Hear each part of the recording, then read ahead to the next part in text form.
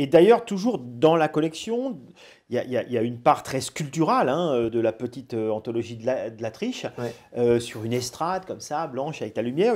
Une part très sculpture qu'on retrouve avec quelque chose qui évoque aussi le mobilier, Have a Rest, détendez-vous sur ce qui ne, ce qui ne, ce qui ne, ce qui n'illustre pas l'idée de, de, de, de, lenteur, qui est euh, en fait tu, tu, tu, tu, refais un super euh, ordinateur de 77 de la NSA, euh, mais tu lui donnes en respectant sa forme et avec le titre, tu l'orientes vers autre chose. Oui, c'est alors c'est vrai que c'est une œuvre qui est qui est à la fois une sculpture, une sculpture et puis aussi on pourrait dire presque un, un objet qu'on verrait dans un musée des sciences. Euh, il y en a d'ailleurs euh, une, euh, une, version au Musée des Arts et Métiers, il y en a une autre à Lausanne. il y a un certain nombre d'individus, une petite communauté autour de ces ordinateurs qui s'appellent des craies, du nom de l'inventeur. et les craies sont des super calculateurs qui ont maintenant euh, dans leur forme euh, que moi j'ai reproduite, euh, qui existe maintenant sous d'autres. la marque existe toujours, mais le principe ici était effectivement de, se concentrer sur le. je dirais sur cette forme qui est une sorte de totem, totem à plusieurs points de vue. C'est un, totem symbolique puisque ces machines-là, elles étaient censées être voilà, surpuissantes, surpuissantes au point même euh, qui, je dirais, c'est assez drôle parce qu'elles ont une banquette, euh, une banquette qui est due à, là plus à une question de design. Euh, il fallait à un moment donné ranger le circuit de refroidissement de ces ordinateurs et comme ça crée une zone autour de l'ordinateur, c'est des sortes de fer à cheval comme ça, sur lequel vient se brancher un disque dur. Mais il faut imaginer la taille, hein, ça mesure un mètre 1m60 en hauteur, donc c'est des, formats très imposants. Et puis une banquette qui fait le tour. Il y a beaucoup de scientifiques d'ailleurs de l'époque qui sont pris en photo, soit avec la famille ou euh, assis sur, euh, sur cet objet. Parce que c'est vrai que c'est un objet, un objet fascinant visuellement.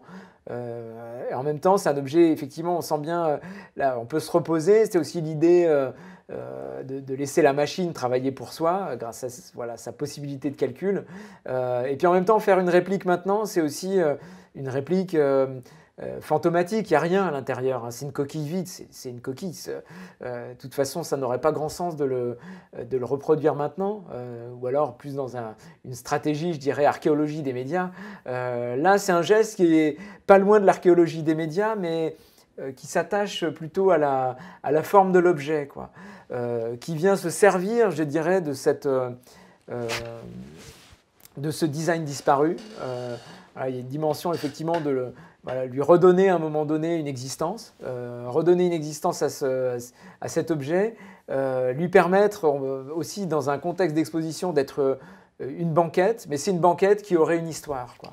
je crois que je tourne autour de cette idée depuis un moment, mais c'est vraiment ça, c'est-à-dire que c'est un objet comme les pulls verts tricotés avec les grands-mères, c'est des, euh, des objets qui sont des objets euh, au premier abord euh, simples, c'est un meuble, c'est des pulls, mais qui en même temps sont comme,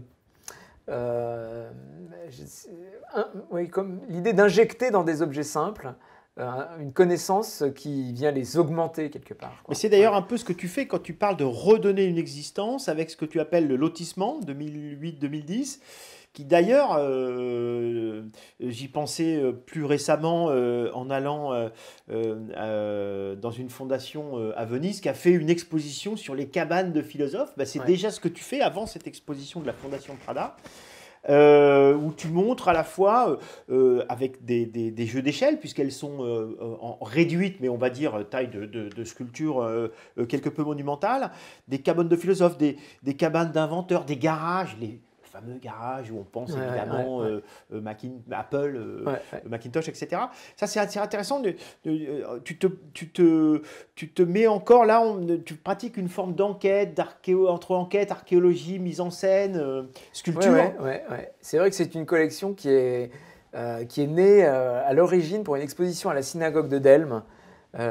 qui est un centre d'art situé entre Metz et Nancy, qui est effectivement, c'est une ancienne synagogue qui est de, petit format, mais qui, moi, en la regardant, je m'étais dit, tiens, il y a là euh, l'idée presque d'une euh, oui, d'une habitation, en fait. Euh, et, et, puis je me disais, tiens, est-ce que.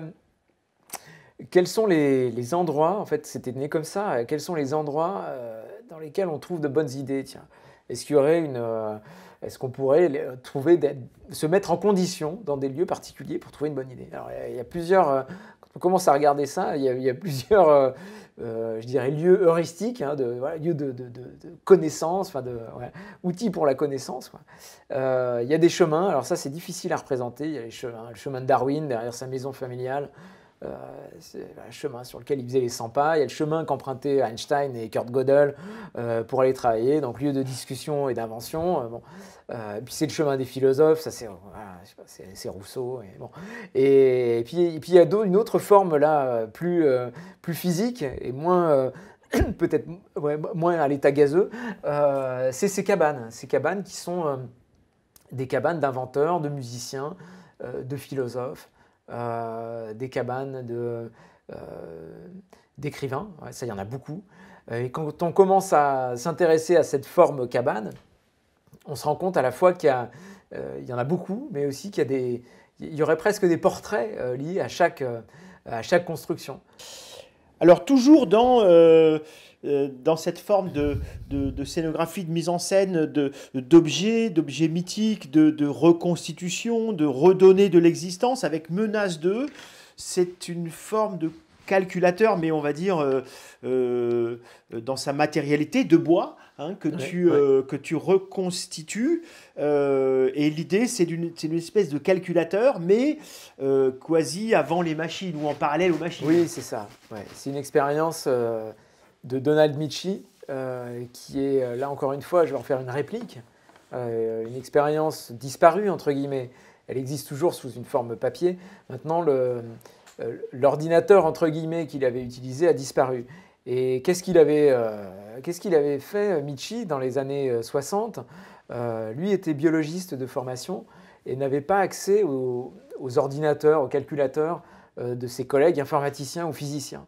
Euh, il s'est dit, c'est pas grave, je vais. Euh, euh, il travaillait sur l'apprentissage.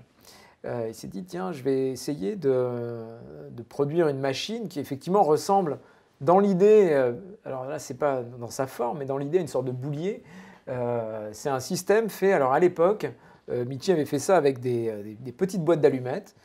Petites boîtes d'allumettes qui, empilées avec un système de petites graines et d'épices à l'intérieur, apprenaient à jouer au morpion. Euh, donc, qui est ce jeu euh, que tout le monde connaît. On fait cette, croix. Et puis, alors, comment est-ce que ça fonctionnait? Euh, Eh bien, chaque, chaque petite boîte, il y en avait 304, chaque petite boîte représentait une situation de jeu possible. par exemple, on a cette petite grille avec la croix en haut à gauche qui a été Donc ça, on aurait une boîte comme ça. La croix, puis le cercle, etc. Là, on a toutes les positions. Au Morpion, il y a plus de possibilités de jeu que ça, mais par principe de, miroir et de rotation, ça limite le nombre de combinaisons à 304 précisément. Euh, et alors je me dis, tiens, cette, expérience est fascinante, fascinante parce qu'elle fait la preuve que euh, euh, un ensemble de boîtes d'allumettes peut apprendre à jouer au morpion. Alors comment, comment elle le fait? Je vais essayer de l'expliquer. Il faudrait avoir la machine, ce serait plus simple. mais simplement, on prend au hasard Allez, disons, moi j'ai reproduit ça avec des billes, on va parler de billes, ce sera plus simple, de billes et de tiroirs. On prend au hasard euh, une bille dans le tiroir qui correspond à la situation de jeu neutre, il n'y a rien encore euh, dans la grille. Je prends une bille au hasard, c'est la bille de couleur rouge que je mets en évidence. Je vais cocher, le rouge correspond à cette case en haut à gauche, je coche. C'est à moi humain de jouer, je fais un cercle, Puis ça, je vais aller le chercher euh, dans mes 300 petits tiroirs, je vais chercher cette position de jeu. Je prends au hasard à nouveau une bille qui va correspondre cette fois-ci peut-être à la case en bas à droite. Et ça, je coche. Et puis, euh, je joue, moi humain, je mets mon cercle au milieu et je euh, continue, je reproduis cette, euh, cette recherche-là dans les tiroirs. La partie, si je gagne, je vais retirer toutes les billes qui ont été mises en évidence. Si je perds, je vais rajouter trois billes de la couleur qui a été mise en évidence. Et si je fais égalité, je vais rajouter une seule bille. Et donc ça, qu'est-ce que ça fait? Petit à petit, eh bien, ça provoque par renforcement euh, un apprentissage. Et ce qui est à l'œuvre là, dans cette machine, alors euh, en boîte d'allumettes chez Michi, chez moi, dans un meuble en bois qui, qui, ressemble à une sorte de meuble de pharmacie ou de mercerie, eh bien, c'est ce qui est à l'œuvre aussi dans nos téléphones. c'est ce qui est à l'œuvre dans nos ordinateurs, c'est ce qui est à l'œuvre dans, dans tes smartwatches. Quand tu utilises ces systèmes, par exemple, de, pour taper du texte, eh bien, il y a un apprentissage par renforcement. Il y a une probabilité plus grande, en fait, c'est ça que ça, que ça met en valeur, c'est un renforcement d'une probabilité que tel choix va être produit plutôt qu'un plutôt qu'un autre. Euh, et moi, ça me semblait euh, important de refaire, de reproduire euh, quasi à l'identique, mais en tout cas de, pérenniser cette, cette expérience-là, parce que c'est une expérience sur laquelle on a encore la main sur les principes de fonctionnement. La grande euh, difficulté avec les outils qui nous envahissent euh, les poches, c'est qu'ils sont euh, évidemment fermés et, à tendance incompréhensible. C'est-à-dire, ils, donnent peu les outils pour être accessibles. Essayer d'ouvrir un téléphone, essayer de le réparer, c'est quand même une, difficulté assez, élevée. Et donc, la machine menace de Michi, permet, je dirais, de, saisir et de le saisir très physiquement.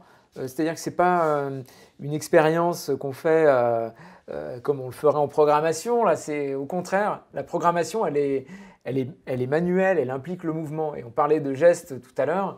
Là, très littéralement, on met la main sur la machine et on comprend, j'ai l'impression, on comprend aussi comment elle, comment elle fonctionne, quelles sont ses limites. Qu'est-ce que c'est que cette intelligence artificielle en dehors de ces, euh, voilà, du décorum euh, magico, euh, quoi, magico marketing, quoi.